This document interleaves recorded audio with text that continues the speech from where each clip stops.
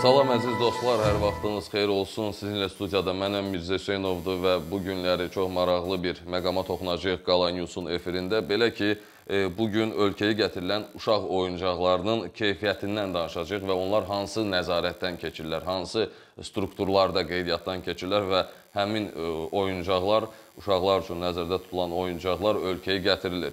Belə ki, maraqlı bir məqam e, müşahidə edə bilirik. E, çünki e, bu mövzuya çox az-az toxunurlar. Biz də belə qərara gəldik ki, bu mövzuya toxunaq və gələcəkdə bu mövzu haqqında geniş bir araşdırmamız olacaq. İcmal olaraq da sizə təqdim edəcəyik. Çünki ölkəyə gətirilən uşaq oyuncaqlarının arasında elə oyuncaqlar var ki, həqiqətən də həm satış qiymətinə görə, həm də artıq oyuncağın özünə baxanda onun keyfiyyətindən başa düşülür ki, bu oyuncağın belə deyək, uşağa alınıb verilməsi olduqca potensial bir təhlükədir. Çünki e, hər bir halda uşaq müxtəlif kimyəvi elementlərin e, və müdafiəsiz bir şəkildə körpədir, belə deyək, 1 yaşında, 2 yaşında, 3 yaşında uşaqların ağlı kəsməyən bir uşaqdır və anlamır ki, bu ondan xəstəlik qazana bilər. Uşaqlar çox vaxt oyuncaqları ağızlarına salırlar, oynadıqdan sonra əllərini üzünə sürtürlər, gözlərinə sürtürlər və belə deyək, əllərini yumurlar və oyuncaq hər bir oyuncaq onun hansısa bir bütün oyuncaqlar arasında hansısa bir oyuncaq onun sevimli oyuncağına çevrilir psixoloji olaraq və o daima demək olar ki, oyuncağı əlindən yerə qoymur.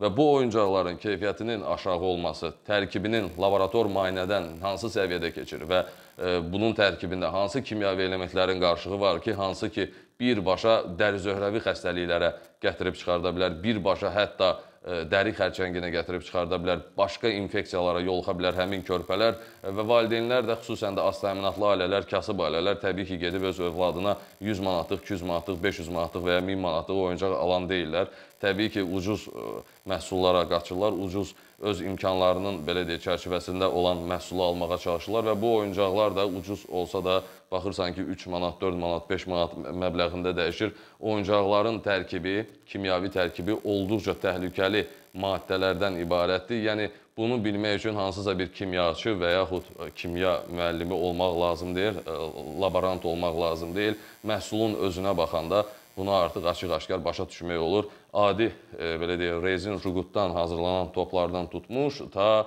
e, deyək ki, qız uşaqları üçün nəzərdə tutulan e, oyuncaqlara qədər, gəlinciklərə qədər biz bunu görə bilərik. Yetər ki, hər hansı bir oyuncaq mağazasına daxil olub şəhərdə özünüz bunu müşahidə edə bilərsiniz e, və müvafiq qurumlardan da xahiş edirik ki, bu istiqamətdə e, tədbirlərini gücləndirsinlər. Qalaynis olaraq da biz bu e, mövzu haqqında geniş bir araşdırma hazırlayacağıq. Bu mövzu e, burada bitməyəcək. Çox geniş bir icmal hazırlayacağıq bu mövzu haqqında və sizə təqdim edəcəyik. Təşəkkür edirik. Allah Azərbaycanımızı qorusun.